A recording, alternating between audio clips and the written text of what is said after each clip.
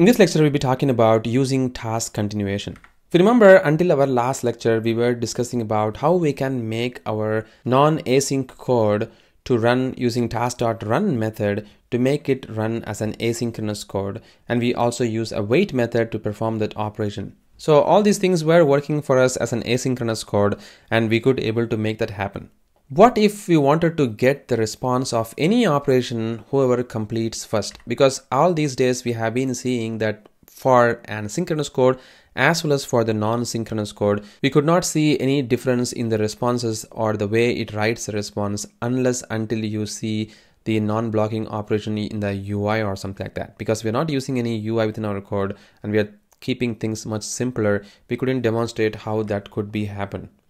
So in order for that to happen, we are going to talk about what is called as the continuation. So we are going to write code something like this. Basically, after the task.run operation completes, we are going to say an task.when any method. So there are many different inbuilt methods available in the task which can perform so many different operations for us.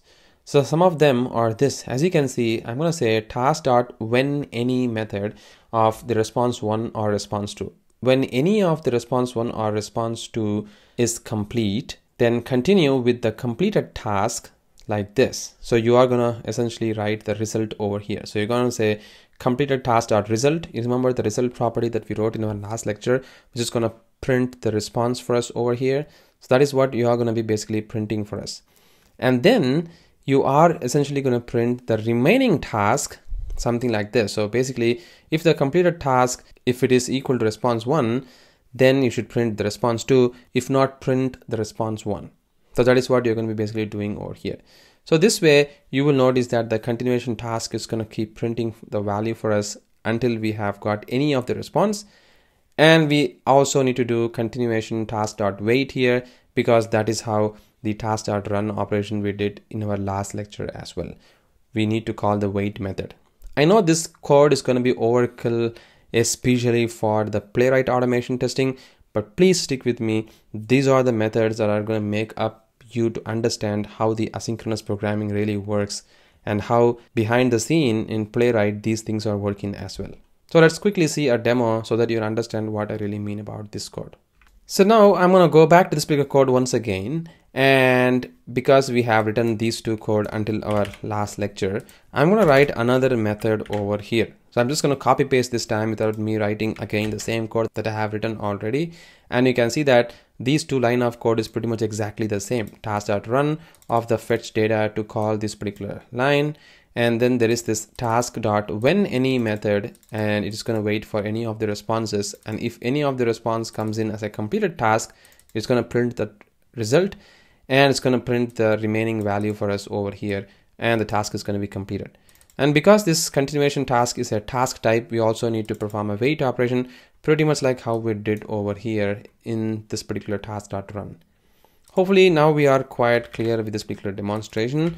And now I'm going to go back to the program.cs file and let me try to run this code just to show the existing functionality you see that every time while I call the demo sync HTTP client, it is going to print both the value same time, even though they are running asynchronously. And the reason why it couldn't able to print at least one value is because we have not used the continuation or at least told the code to print any one of the value it is available.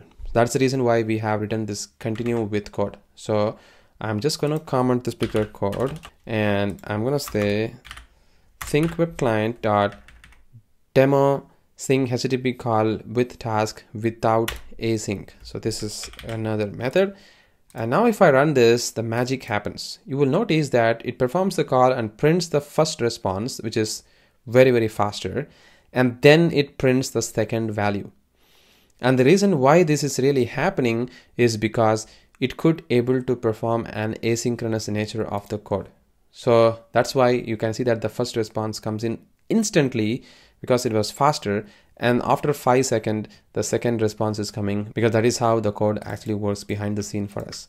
So this is the way we can see that we could able to make an non-async code which is the web client code to execute the code in a synchronous fashion using the task.run method.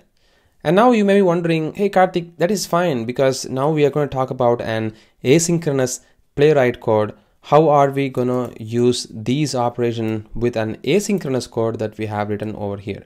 How do we do those operation? Well, that is what we are going to be talking in our next lecture. But at least now you have got the idea of how that you can print any of the response which is available instantly once it is completed. And this has proven the point that we have written an asynchronous HTTP request over here.